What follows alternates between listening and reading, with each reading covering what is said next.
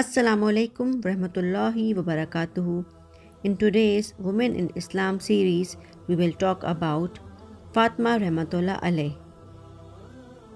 Fatima is the youngest daughter of Prophet Muhammad sallallahu alaihi wasallam and his wife Khadija.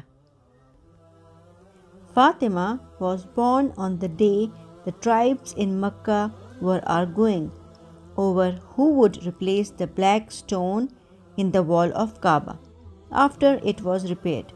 Prophet Muhammad prevented them fighting by guiding someone from each tribe to lift it up to the wall all together in a cloth. Two special events on the same day. Fatima was five years old when the angel Jibril first appeared to Prophet Muhammad sallallahu alaihi wasallam.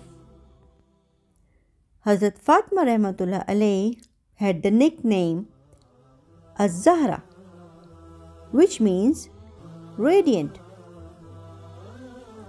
Hazrat Fatima rahmatullah looked like Prophet Muhammad sallallahu alaihi wasallam, and she would walk like him and had similar mannerisms.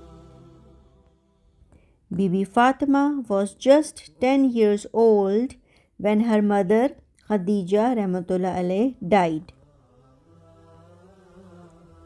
Hazrat Ali Rahmatullah asked Prophet Muhammad wasallam for Fatima's hand in marriage and he wasallam replied I will ask Fatima what she thinks of the proposal.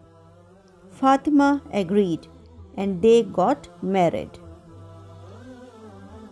Hazrat Fatima did not have riches. She worked very hard. Prophet Muhammad wasallam told her to say Alhamdulillah and Subhanallah 33 times each and Allahu Akbar 34 times before going to sleep to give her strength. Prophet Muhammad wasallam loved his grandsons Hassan and Hussein from his daughter Fatima. Sometimes he wasallam would walk with them on his shoulders. Subhanallah.